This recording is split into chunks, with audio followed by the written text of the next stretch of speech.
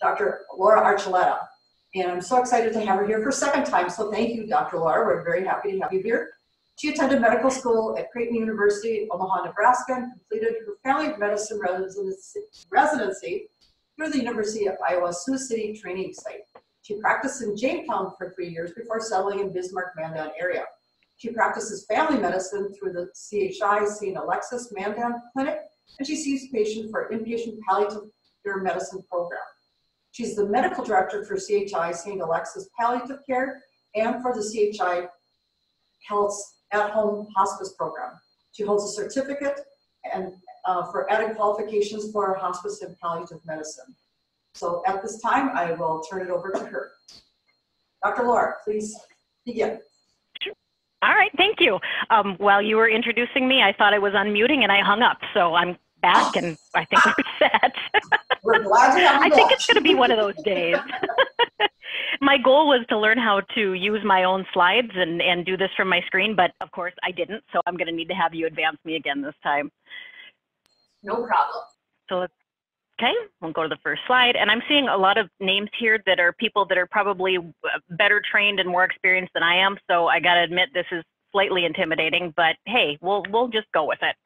Um, so as we're today is kind of a hodgepodge of miscellaneous symptoms.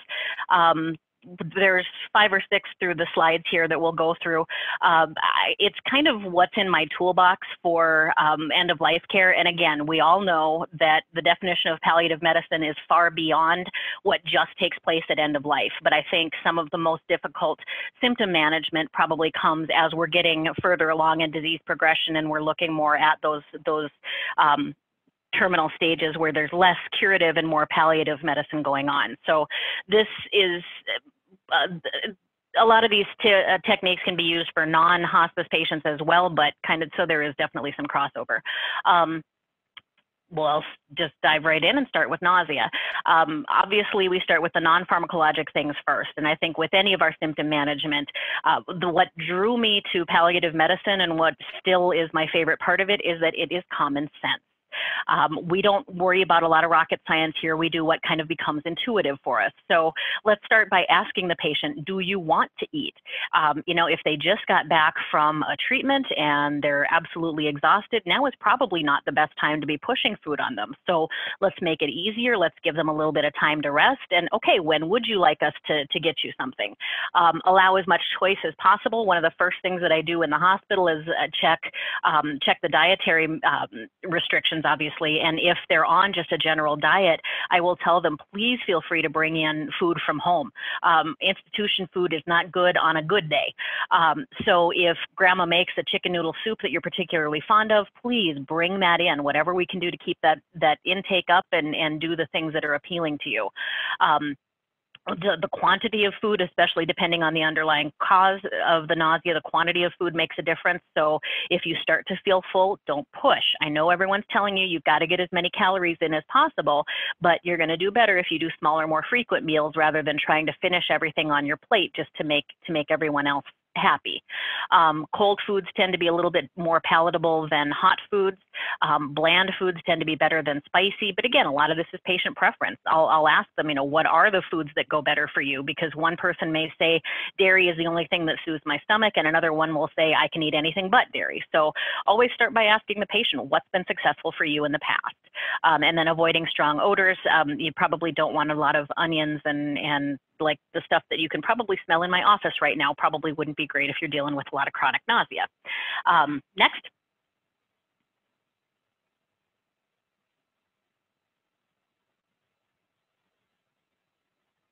Okay. Um, the, the, pharmacotherapy for nausea is easier if we break down uh, where the nausea is coming from. I see this, I, I, love our hospitalists. I think they do a phenomenal job, but I think, oh, back up one um, I think we kind of get in this mindset that nausea should respond to either Phenergan or Zofran or, you know, maybe some Compazine, but there's usually two or three that they'll throw at them and it, they may have varying levels of success. So it kind of helps to step back and look at where the, where the nausea is coming from. Um, cerebral causes would be obviously something going on in the brain. Um, told you it's one of those days. Um, uh, brain metastasis from a cancer, meningeal irritation from infection infection or from radiation um, or anticipatory nausea. They've become so conditioned that every time they eat, they feel sick, that just the thought of, of eating makes them sick. Um, for the anticipatory nausea, I like the very low dose um, benzos, like maybe 0.25 of lorazepam. I don't want something that's going to make them so tired they can't eat, but to dose that maybe half an hour before they're supposed to eat, um, sometimes will take away that anticipatory nausea.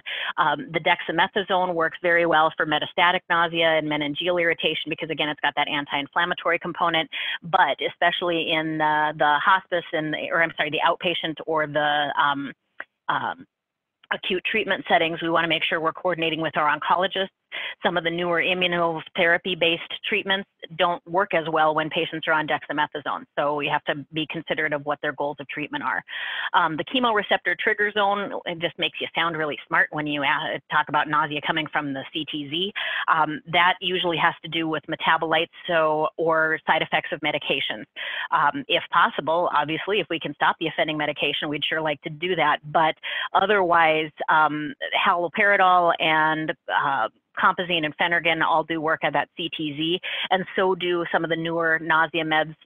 Gosh, I'm dating myself. I still consider Zofran somewhat newer. Um, so, but those that are designed for chemotherapy-induced nausea work at that chemoreceptor trigger zone as well. Next um, GI tract, mechanical obstruction, um, decreased GI motility, delayed gastric emptying, um, irritation of the gastric mucosa. These are generally like the hyperacidity type treatments. So um, proton pump inhibitors or H2 blockers.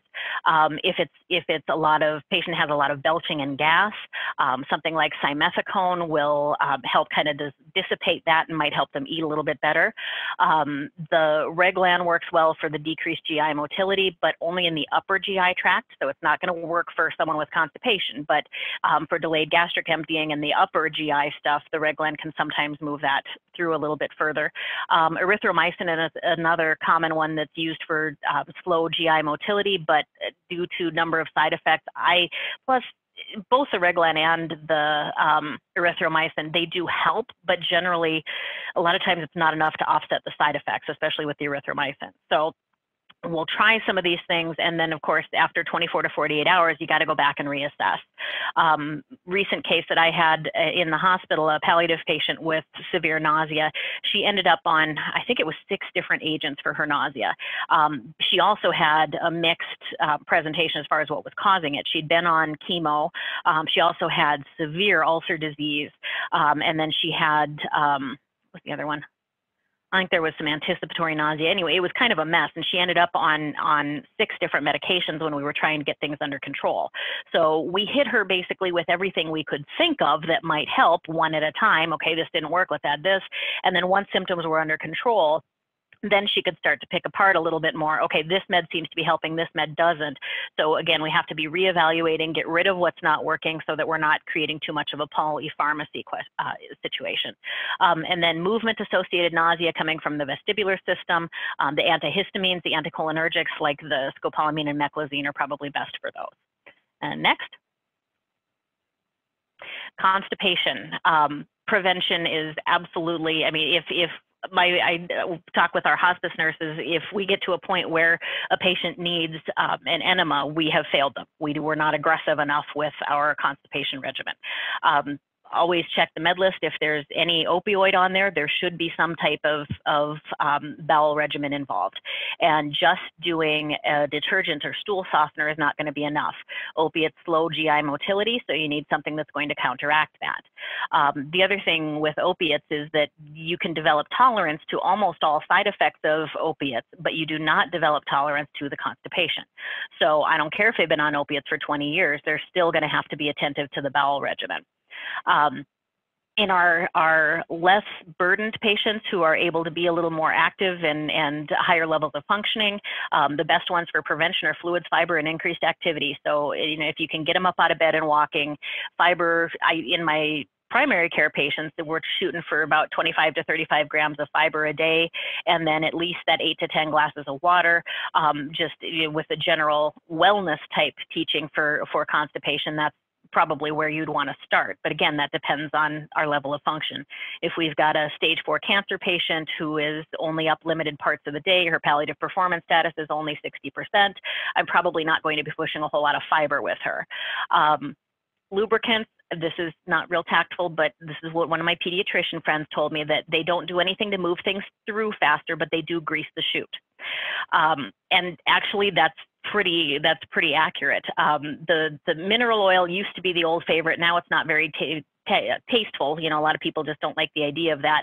Coconut oil is kind of a big fad for everything, and I've had real interesting success with a couple of our uh, geriatric hospice patients. They, you know, they'll live off of this Ensure Boost supplements, and if you put a couple tablespoons or even just one tablespoon of Boost or of of coconut oil. You got to get it room temperature and kind of get it thinned out first. But if you get that mixed up in your nutritional supplement, that can really help with the um, constipation. Um, Vaseline balls are on our hospice standing orders, and I thought it was absolutely bizarre, but they are awesome. They work so well. Um, you take a container of plain Vaseline. I did have someone tell me not to use the um, baby powder flavored, and I didn't even want to know how they figured that out. Um, but you take a container of Vaseline, you put it in the freezer, get it good and cold, and then you want to make like pea-sized balls, and then you can roll it in whatever the patient finds palatable. Um, some people use powder sugar or that PB2, the powdered peanut butter stuff, or cocoa powder, um, and then the patient just swallows two to three of those a day and increase or decrease as needed. And again, it has it has a lubricant effect. It helps soften the stools, and it does it does definitely do a good job with the constipation. Um, the stool softeners, as we said, will break up a hard stool, but that's about it. Um, getting into the stimulants and the osmotics, those are the ones that are going to be moving things through a little bit more quickly. Um, Dulcolax either as oral or as suppository. Um, sometimes more, um, I didn't even put Senna on there. Senna would be under the stimulants as well. Um, Senna and Dulcolax both can be um, depends on the situation. Senna's kind of been the classic go-to for hospice. Sometimes causes more um, more cramping than the osmotic laxatives like the Miralax. Um, but with the osmotic laxatives, you've got to be able to drink the eight ounces that the stuff dissolves in. So uh, kind of pick and choose and go back and forth. With Senna, um, huge dose range on it. You can go anywhere from one to two tabs a day up to max is supposed to be about eight tabs. Um, the one thing I do like about the the polyethylene glycol is that it's so easy to titrate. Um, you know, it's it's a powder, so you use a little less, you use a little more. I tell patients, I, ideally, I'd like to have their stools at about pudding consistency. Again, it's a gross analogy I learned from my pediatrician friend, but we don't. When you've got such a limited amount of of physical energy, you don't want to be having to spend all your energy trying to eliminate stool. So the softer we can keep it for patients, the better it's going to be. Obviously, not going to the extremes of diarrhea, but there too. Miralax is very easy to, to titrate. Um, the saline laxatives we don't use a whole lot of. Um, with the magnesium component, if there's renal failure, we of course have to worry about electrolyte imbalances. Plus, they do tend to cause a lot more um, uh, cramping. But if we're really getting into a bind, they can be they can be um, useful for the more severe levels. Next. Okay, so dyspnea. And again, remember, dyspnea is not a number on a screen or on a, on a SAT monitor. Dyspnea is how the patient looks. Um, in my notes, I'll comment, you know, patient appears tachypneic but not dyspneic or dyspneic but not tachypneic. So it's it's the subjective sense of how the patient is feeling about their breathing. Um, the go-to for most people is, well, if they're short of breath, let's put them on oxygen. Um, and we all know that that doesn't always help. Um, they can have SATs of 99% and be incredibly dyspneic, or some of our COPDers can have SATs of literally 75% and they're feeling like it's just any old day. Um, the other issues with oxygen in the palliative setting is you know, the, the psychological effect, for one thing. I know most of us as healthcare providers, I can walk in and out of a room and not even remember if they had oxygen on because I just don't see the cannula anymore. But you know, seeing experience with my own family members, oh, yeah, she was back on the oxygen again today. There's that, you're sicker if you need the oxygen. So there's there's that psychological side to it. Um, plus, you've got to think about the noise of the concentrator tripping over the um, the tubing and all of that. So there are oxygen is definitely effective, but there's definitely a downside to it as well. Um, getting into the pharmacotherapy. Um, benzos can be helpful, especially in anxiety patients. And with COPD, there's such a tight association between the dyspnea and the anxiety. Um, I don't know, honestly, my personal opinion is I would take pain any day over shortness of breath. I just don't think there's anything more distressing than that feeling of not being able to get enough oxygen. Um, so the benzos can help with that, but again, we have to keep our doses low because we don't want to cause the respiratory suppression. Um, morphine, the way I explain it to my patients is that morphine acts in the brainstem on the site that triggers air hunger. So at doses that are lower than what we use for pain, um, we're going to find that the patient doesn't feel the air hunger as much. Um, they may still be just as dyspneic, and they're, I'm sorry, they may be just as tachypneic, and their respirations may appear labored to us, but the patient's sensation of air hunger is going to be diminished. Um, morphine extended release has kind of been the gold standard for treating dyspnea, but it does work with, with other opiates as well. In fact, I had one lady who was on hydrocodone. Um, she had been prescribed it postoperatively, a COPD patient, and um, found that she could just get a lot more done on those days that she took her hydrocodone. And as we were talking it through, she said she just felt so much less shortness of breath, and it was it was half of a five milligram hydrocodone. Um, corticosteroids, depending again on the underlying situation, the, the um, underlying diagnosis, and what your goals of care are. Um, sometimes with our COPDers, we'll put them on a little bit of prednisone. Um, but if if we can manage it with other ways, especially well, especially if it's a flare up. Um, I can think of a, a COPD slash lung cancer patient that we had not too long ago, and she started going into another exacerbation. So we increased for her it was dexamethasone. We bumped it up for a little while, but then um, you know it does boost the energy level. For her, she started getting more agitation, so we had to kind of bring it back down as she got through that steroid through that exacerbation. Um, anticholinergics, usually that's more for the, the secretions related to um, if, if you've got like a real wet COPD or that's getting short of breath because they can't clear their secretions, you can go one of two ways. Um, the, the standard is always, well, do we try to dry it up and get rid of it? But sometimes that actually will cement the secretions more. So the other way to go at it would be to try to loosen it up with um, the guaifenesin or the acetylcysteine nebulizers, which are really gross tasting, but they work. Um, and again, I, I, try to get my patients on board with this that, okay, we're going to be trying to loosen the secretion so that you can try to get rid of them. You'll notice them, they'll still be there, but hopefully they're going to be easier to clear. Or if we're going to use the atropine, I'll tell them, okay, we're going to try, we're going to try and dry this out. If it doesn't work and it makes it worse, okay, then we stop and we'll take the other approach. Um, so I've seen both ways work. It just kind of depends on the situation. Um, diuretics, if it's a cardiac patient, obviously, then, you know, we'll look more at using Lasix, PRN, depending on renal function and where they're at symptom-wise. And then, of course, the bronchodilators like the albuterol. Um, we tend to use more um, depends on the patient, but we tend to use more short-acting bronchodilators. We don't get into a lot of the fancy, um, you know, some of the newer inhalers have the um, steroid, the anticholinergic, and the beta agonist all in one. Um, for one thing, on on a hospice and palliative budget, we usually can't get into a lot of that. But when you're looking at symptom relief, a fast-acting bronchodilator is still going to be subjectively as good for a patient as as some of the others, um, because that's what gives them the fast relief. Next. Okay, restlessness and delirium. Um, whenever possible, again, let's go back to our common sense and let's look for the underlying cause. Um, are they constipated? When was the last time they had a bowel movement? Um, does palpate their abdomen? Does the bladder feel distended? Are they putting out any urine? Um, is there perhaps uh, an underlying infection? Interesting side note, I went to a psych and neurology and primary care conference a few months ago, and the staff there was saying that the old um, wives' tale that that um, UTIs cause delirium is really falling by the wayside, and we really don't believe that that happens anymore. And I just kind of went, really? Because we see it all the time. So there's there, apparently there's some new conflict in the literature over whether UTIs and subclinical infections can cause delirium, but I don't know. I, I think it's it's a pretty common finding. Um, if you can treat the underlying cause, do so. Um, with many of our hospice patients or those who are more seriously ill and aren't able to tell us what's wrong, we treat for pain first. So if you've got a patient who's restless and delirious, let's give them what's their short acting pain med, let's give them a dose, and if they don't settle down after that, then we get into some of the pharmacotherapy. Um, our go-to, especially on the inpatient side, has always been the benzos, but really use with caution.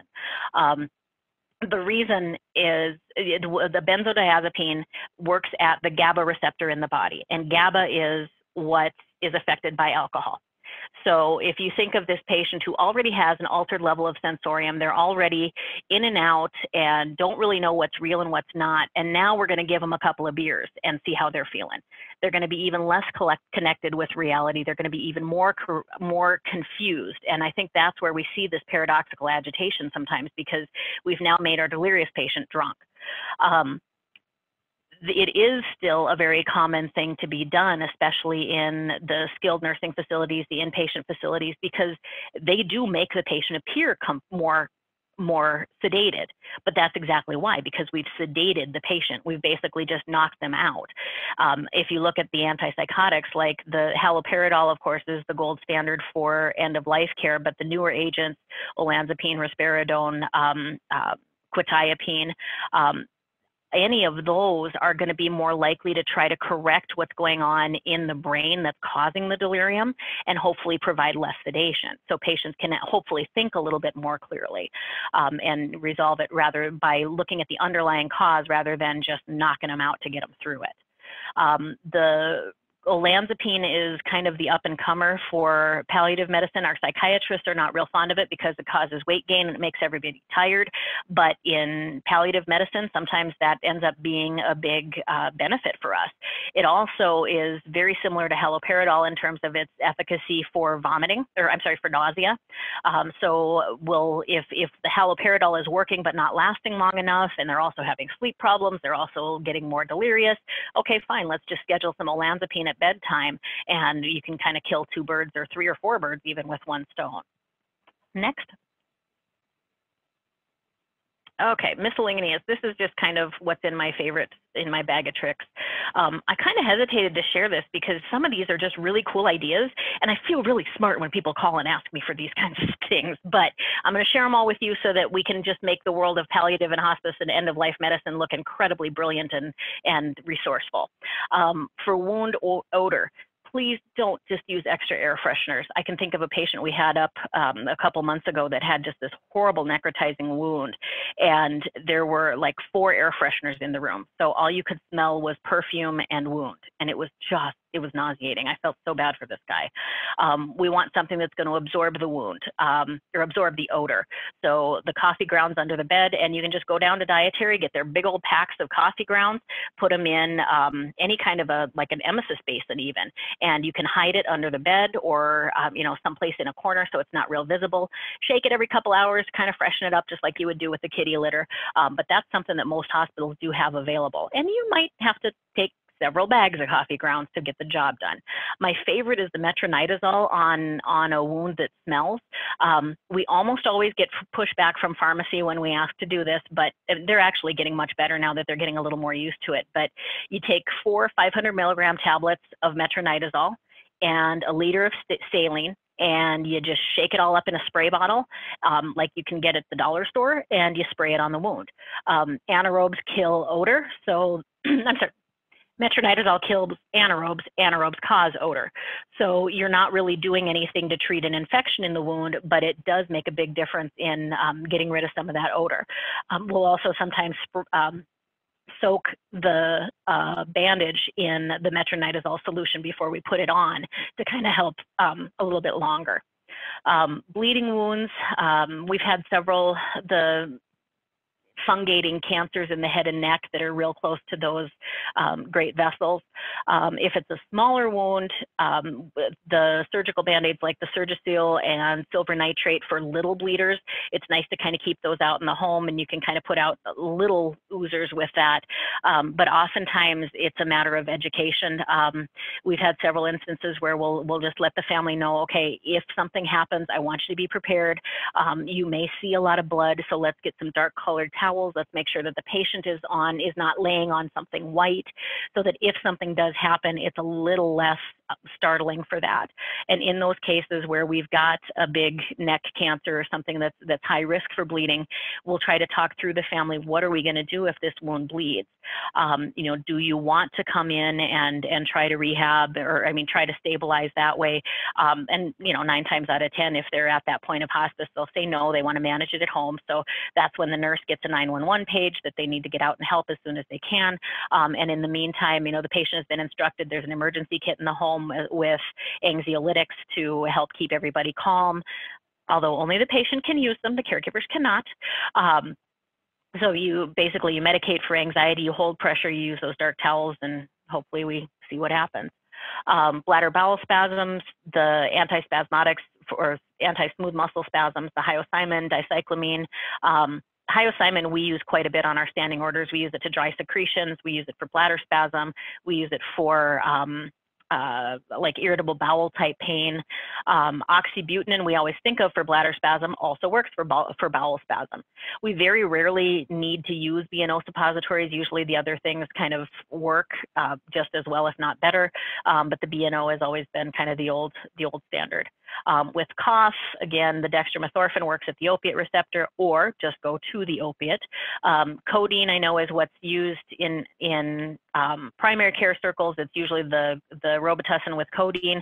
In, in palliative circles, we really don't like codeine because codeine's metabolites tend to cause more nausea and vomiting, and there you get more more toxicity off the codeine than you would with just using a straight morphine. Um, we had one case several years ago. It was, I think it was a uh, lung tumor. And this poor lady had just this horrible cough. So we had our pharmacist do a literature search. And sure enough, they found that SSRIs could be used for, um, for chronic cough. She used paroxetine, I think it was only 10 or 20 milligrams. We didn't go real high with the dose. And it took about two weeks, but the patient did feel she got relief with that. Um, nebulized lidocaine, the literature doesn't really have much favor for this because on a, on a, on a larger scale, it doesn't do much. But sub-selecting out the right type of patient, if you've got somebody that's got like a, a throat cancer or some kind of nasopharyngeal irritation, um, the nebulized lidocaine is just gonna, gonna numb that enough that they won't feel that so much. And then for terminal secretions, again, the anti anticholinergics. And I think that's the last slide. Maybe? Yes, it is. Okay. So now is question and answer case. Yeah, a couple things. We just kind of blacked out for a second here. Ooh.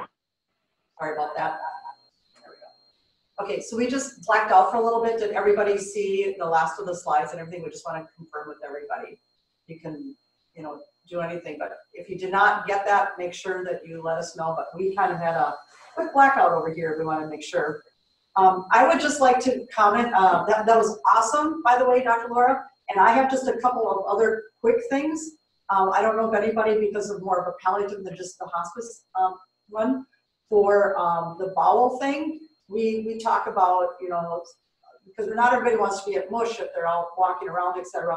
So we use the Bristol bowel scale a lot, and we talk about slippery snake as being what we want versus the rabbit turns versus water, you know, and kind of go that way for that, just a quick one.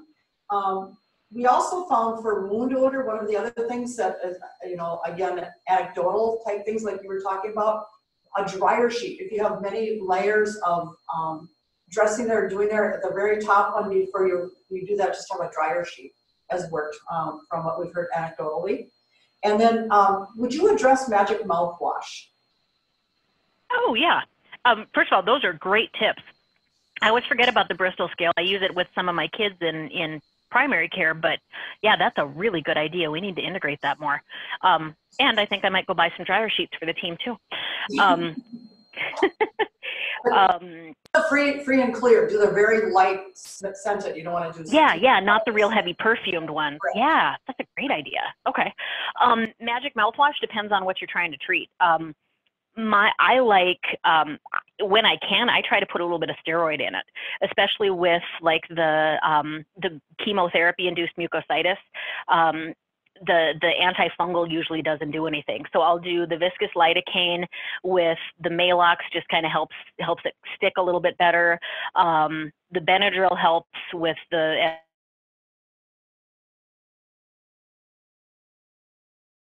dexamethasone or, or whatever steroid you can find that your pharmacist can throw in there. Sometimes they'll use um, Kenalog or just there's like 400 recipes for this stuff. Um, the with mouth sores, we'll also use um, Kenalog in Orabase. It's just a, like a Kenalog ointment that you can put on a Q-tip and then the patient can just kind of dab it on as needed. Or you can do that with viscous lidocaine also. Put kid put a little 30 ml cup of viscous lidocaine at the bedside with a Q-tip, and then they can apply it as needed to wherever the sores are. The thing too is some, um, also to keep in mind from the palliative all the way to hospice perspective is cost. And, uh, you know, if people do have, you know, compounding, that was another concern, you know, where people have had that in the past and things too. But, you know, some of these things, it's nice to say, work with, even with the pharmacists and stuff, what's our most frugal thing for anybody. It doesn't matter if they're on hospice or, you know, enrolled in hospice or anywhere along the line for uh, palliative perspective as well too. So just want to throw that in there too. So. Um, again, just wanted to open up for questions or other ideas or things that have worked for people in the past. This is a great time for dialogue uh, before we get to our case.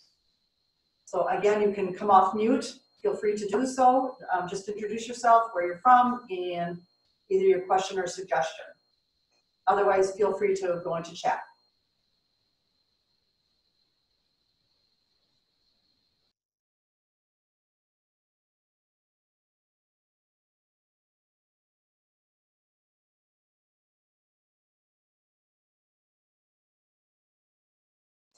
We'll give just a couple more seconds if you think of anything. We, need time to process in our brain. but I, I love that we can do anecdotal, you know, in, in settings like this, that not everything has to be purely evidence-based and researched all the way, that by trial and error, exactly like you said, you know, what's worked, et cetera.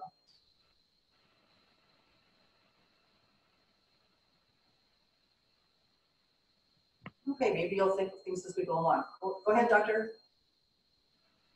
Okay, so we're going to do the case study? Yes, please. Okay. Um, so let's see. Do you have the slides for the case? Yeah. Do you There want we me to go. introduce it, or do you want to go ahead since you? Yeah, Please, go ahead. Go ahead.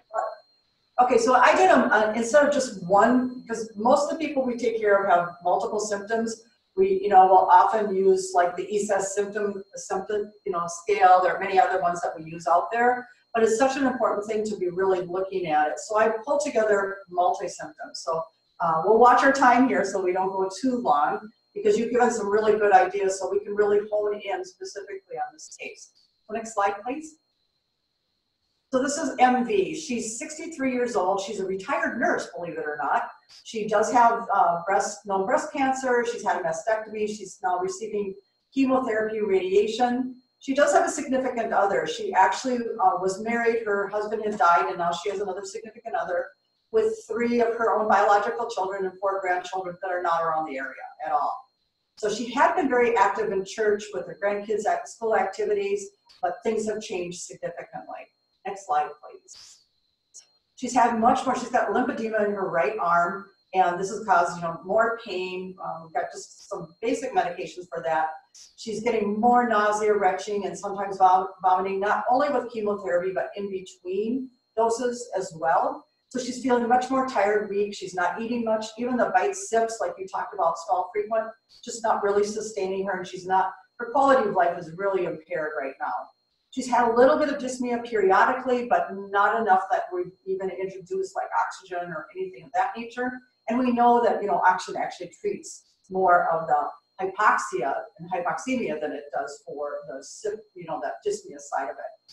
And then for sure she's been developing even more constipation because she's not eating as well. Um, so we, we've had issues with that as, um, as well for her. Next slide, please.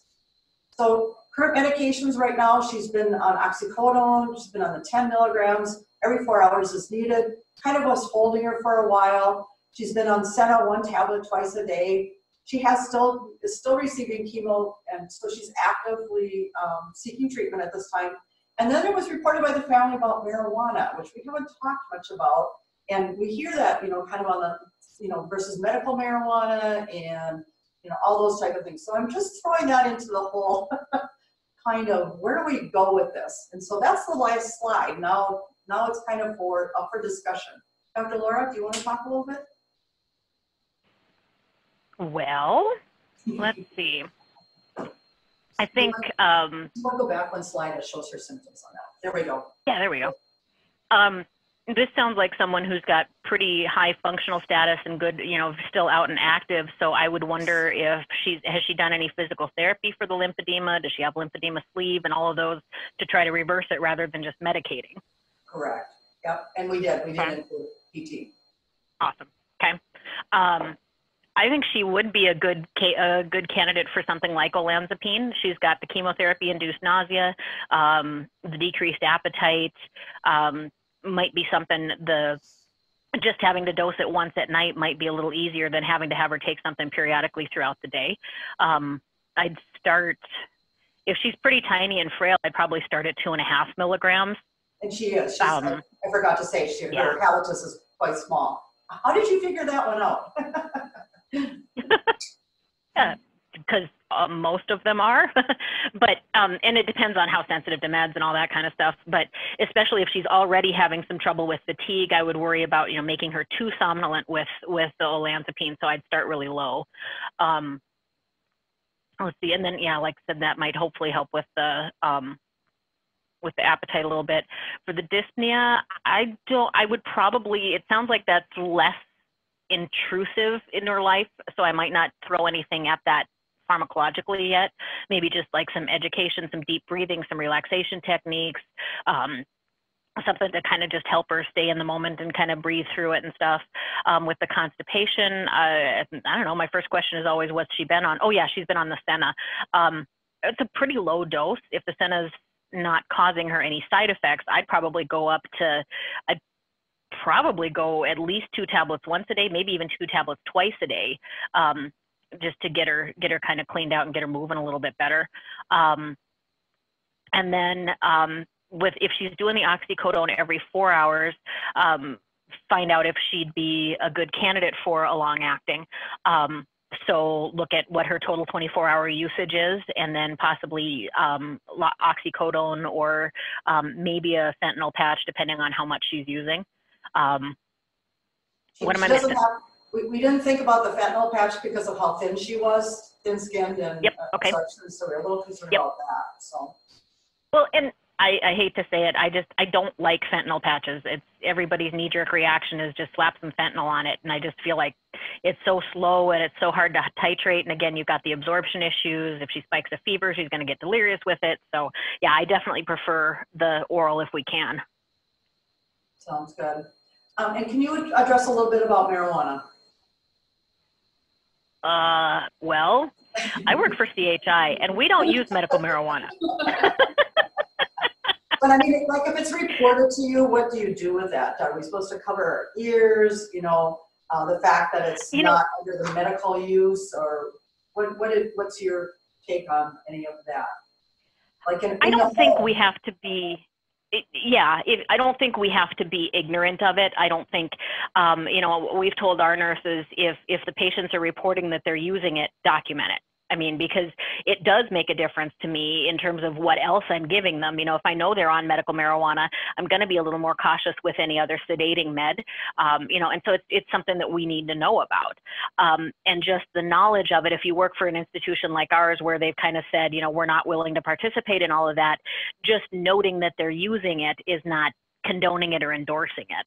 Um, when when I've run into those situations, I will kind of present, okay, here's here's the facts about medical marijuana. In your case, it might be a reasonable option.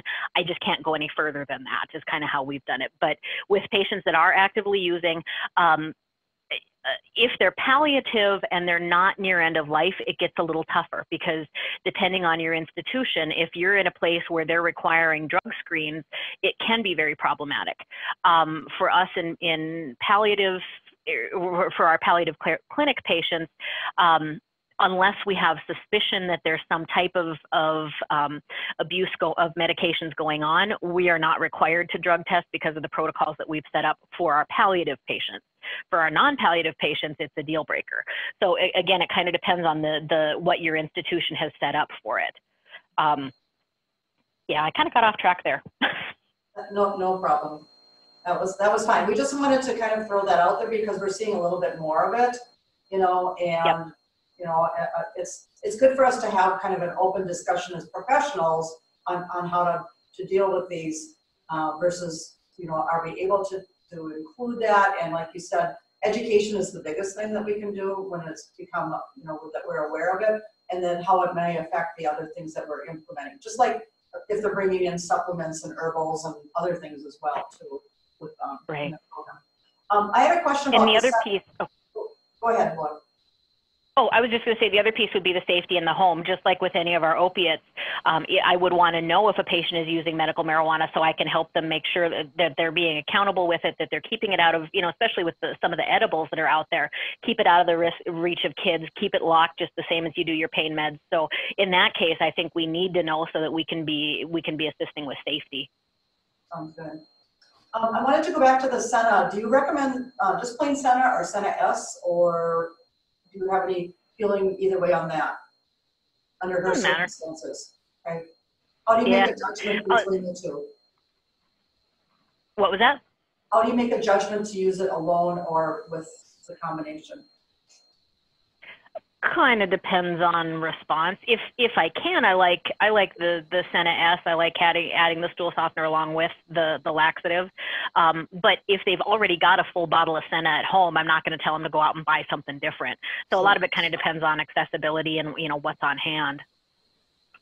And then if you would go back to the symptoms one more time. What we ended up doing with her, her dyspnea is we used a handheld fan. It seemed to be the best thing that worked for her. Was very inexpensive, um, and we, we just found it was the air movement. Uh, I had just recent, I had just re- read an article recently that they were thinking that it has something to do with the trigeminal nerve on the side of their face. Have you heard or seen anything regarding that? No, I've I haven't. I I know I have some patients who wear the little fans around their neck and and it, it does work. I just assumed it's because air air is moving more.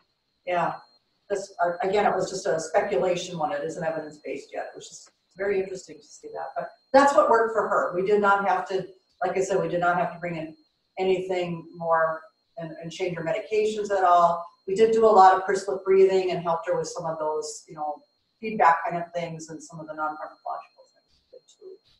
So, okay. So, um, can you go back to the meds one more time then? So what would you be adding to her meds then at this time? What would you do, what you're seeing here? Kind of, can you recap kind of what you were thinking? Um, well, we said the olanzapine, um, 2.5. Um, the Senna, if if it's available and not a huge cost burden to go out and buy another bottle, switching to the Senna S would be great.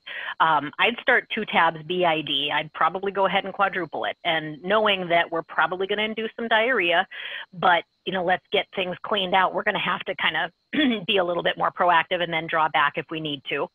Um, for pain, again, I, it depends on. I, I couldn't tell you what I would do unless I knew, you know, how much opiate she's using. Um, do we need anything for neuropathic pain with the uh, lymphedema or? You know, and, and that was kind of something we had talked about as well too. If for neuropathic, then what's your go-to, what do you like to use?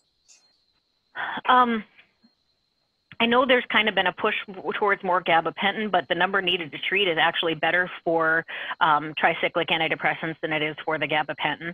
Um, I the my favorite is either the nortriptyline or actually desipramine. Those are the least anticholinergic. Um, and desipramine actually can, in some patients, it's not sedating. It's actually a little bit more activating. Um, but that's that's anecdata depending on your your patient. Um, with the nortriptyline, I usually start 10 milligrams at bedtime and then titrate by 10 milligrams every three days until either you have side effects or it starts working. And then the last, if you go back one more time to the symptoms, the only other one too is her appetite. Do you do anything in, in conjunction with that? Um, Well, that was why I picked the olanzapine. okay. Do you, use anything else beyond that at this time? Not not initially, because I don't. I, again, with polypharmacy, I could think of you know five different meds that we could start her on, but I, I prefer to kind of let's pick one or two of our most distressing symptoms and hit those hard. And with appetite, we know it's so multifactorial that if we get her sleeping better at night, feeling more awake during the day, we treat the pain a little bit better. That in itself may improve the appetite. So I use I, I might pick some of my other meds with an idea of, of trying to stimulate the appetite, but I wouldn't directly approach appetite until we had some of the other easier to control symptoms under control better. And how much time makes you, any sense. how much time would you give for this? Would you give days, a week, a month? How, how long before you would want to see improvements? think- Depends on the setting. If this was an inpatient palliative patient, I'd be reassessing. The next day, I'd be stopping in to see how how she felt in the morning with that olanzapine. Is she having any excessive sedation or, or hangover effects? Um, if she is, is it mild enough that we can push through for a few more days? If she slept just as crappy, feels no different in the morning, um, you know, didn't help at all with the nausea, then I'd probably do a more rapid titration. So I could be adjusting, you know, and with the bowel regimen, I, ideally, if, if these are inpatients, that's the best time to really get aggressive with symptom management because you can be adjusting on a day-to-day basis, um, especially when it comes to vomiting and constipation, um, anxiety. A lot of those are going to respond pretty quickly to the med management. If it was an outpatient um, on hospice, I'd probably I'd make the med change and then I'd say you know let's maybe follow up have a nurse visit in maybe three days or so um, in a palliative clinic. I'd make the changes and then uh, anywhere from you know maybe a nurse call in a couple of days to see how they're tolerating and then titrate based on on um, what they report back to the nurse. And then again it depends on severity of disease and how burdensome it is for them to come in and see me. Um, I, I wouldn't you can be titrating a lot of these things by phone based on effect. I probably wouldn't necessarily bring her back real quick, but in between visits, we'd be tweaking and kind of kind of titrating as best we could. Thank you. That was very, very helpful. So we're going to open it up for some questions now. Um, again, feel free to do it either via chat if you want to just go to the main screen. Thank you. Um, you know, directly just come on. We, we appreciate the dialogue. Feel free to use your cameras if you have your cameras so that we can see video and um, was called in. And then to, um, you can use chat as well. So we have a little bit of time left. Let's see where we are with things.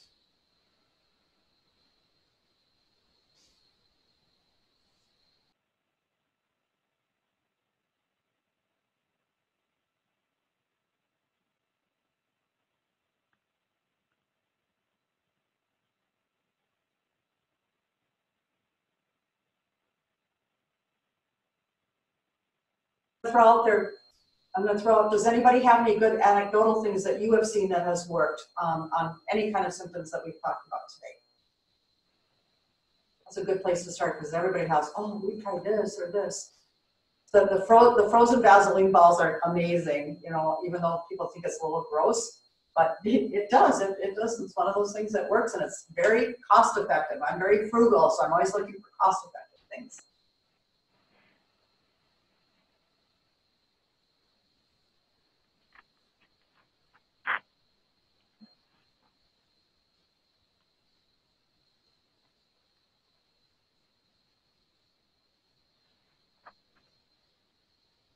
Quiet group today.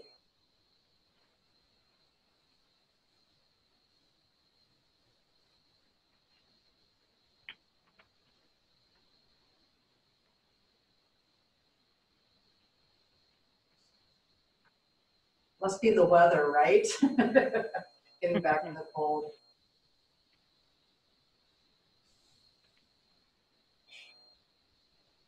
Dr. Laura, I'm gonna turn it back to you. Anything else you want to share right now? What are you thinking about? Uh, I don't think so. I think we kind of did a pretty broad survey today.